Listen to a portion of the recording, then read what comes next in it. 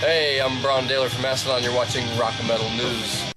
Hey guys, this is Ron from YouTube's Rock and Metal News with a Rock and Metal News update. These are our top picks for the best albums of March of 2021. We got nine of them that we're going to let you know about if you haven't heard. Uh, so, number nine, we're going to start off, and it's an EP, and it is the Serj Tankian EP, of course, from System of a Down. He put out his EP called Elasticity, and these songs were to be on a new System of a Down, Down album, but the band couldn't get together to decide what kind of music they wanted to do, and uh, so he put them on an EP, and you can take a listen to that. And number eight was Eyehategod, A History of Nomadic Behavior.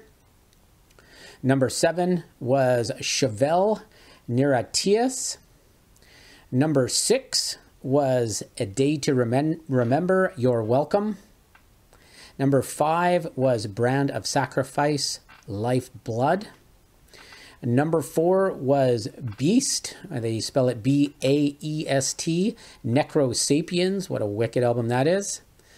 And number three was Orden Ogan Final Days, a great album uh, as a concept album, and you can check that out. Uh, some great vocals, some great uh, songs on that. Number two was The Crown Royal Destroyer. I love The Crown, and they are super heavy, super fast. Put out another great album. And we had number one album for March of 2021 was Rob Zombie, The Lunar Injection Kool-Aid Eclipse Conspiracy.